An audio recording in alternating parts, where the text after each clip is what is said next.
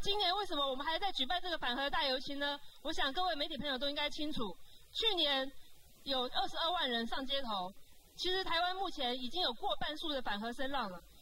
那在去年的时候呢，民意迫使行政院不得不提出核四公投来应付民意。那朝野也协商，在公投前不得追加任何的新加的预算还有工程，所以等于其实把核四冻下来了。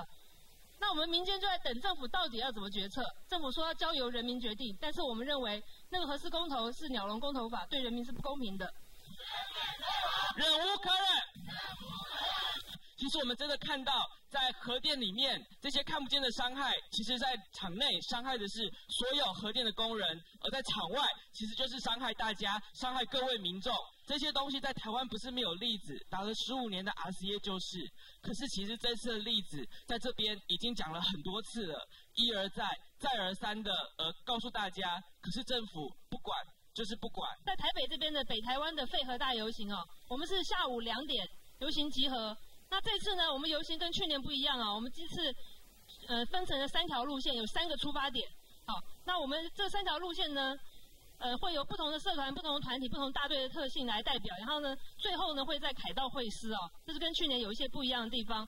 那我们总共分三条路线出发，在三条路线我们都会针对不同的政府机关，还有不同的参与者，有不同的这个设计。那最后呢，在五点半的时候呢，这三条路线会整个汇合到凯道上。做最后的反核的大会师，还有废核晚会，一直持续到晚上九点半。中部游行是下午一点，三月八号下午一点在台中市民广场集合。台中市民广场集合。那游行路线呢，是从市民广场出发，走公益路、美村路、台湾大道，最后再回这个台中市政府广场做这样的晚会。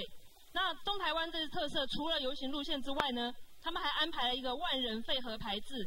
然后呢，引起了空拍的团队，要从下来往下空拍，他们要排一个废核的这个这样子的一个字字眼，这样子。我们今年也是第三年跟呃全国北中南东同步，要呃共同九上街头，为了我们的飞核家园而努力。那今年在三月八号那一天，哦，对台湾哎对台东来讲很重要的是，我们再次集结了台东市。来自于全台湾族群最多、有七大族群的地方，我们这个七大族群全部都会走上街头，为了就是拒绝核废料送到台东来，拒绝核废料到原乡去。政府说稳健检核，各位是真的还是假的？假的。好，所以我们现在表格上贴的这是假的，我们分辨出来是假的。那呢，政府其实是全力永和，这是真的还是假的？真的。好。大家其实分辨得出来哦，政府现在讲的稳健检核呢，其实呢，他就希望核四能够续建，还希望核一二三要延长使用年限，其实根本就是权力永和啊。好，那我们再来问大家，政府说的核四安检是真的还是假的？假的。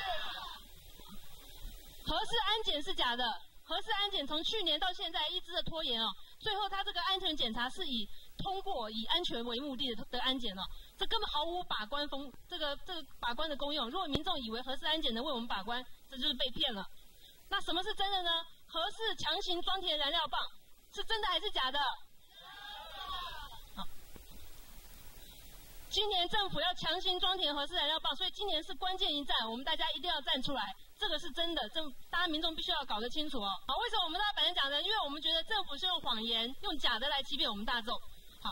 所以我们现在都举假的牌子，我们大家一起来喊一个口号：河安是假的，河安是假的，核灾是真的，核灾是真的。好，三零八废核游行，三零八废核游行，忍无可忍，忍无可忍，不见不散，不见不散。河安是假的，河安是假的，核灾是真的，核灾是真的。政府是假的，政府是假的，人民是真的。人民是真的。